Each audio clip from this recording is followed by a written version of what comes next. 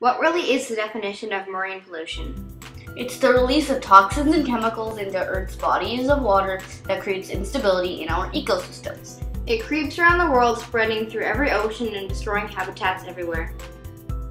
You can only blame this on humans as we release gasoline into our water and treat it as another wasteland.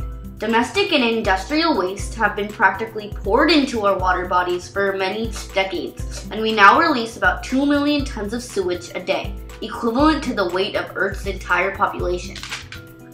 This can be caused by warehouses or other places releasing greenhouse gases into the air. Those gases condense and fall as acid rain. Some of that acid rain falls into the ocean, therefore decreasing its pH.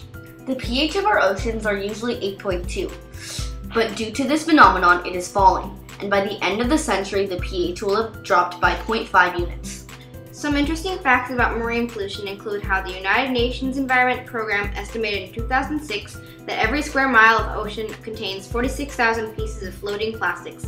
Plastic debris cause the deaths of more than a million seabirds every year, as well as more than 100,000 marine mammals. The North Pacific Gyre, known as the Great Pacific Garbage Patch, occupies a relatively stationary area that is twice the size of Texas. Luckily, there are several ways to stop or reduce the effects of marine pollution. In addition to the international, federal, and local laws that regulate actions contributing to pollution, everyday practice of people can help.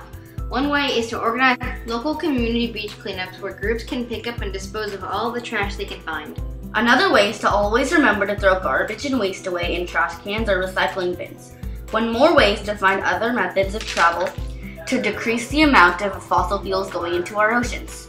Hopefully you will carry on our efforts to educate people or do a project of your own. We thank you very much for watching this video and taking the time to learn about this dangerous process.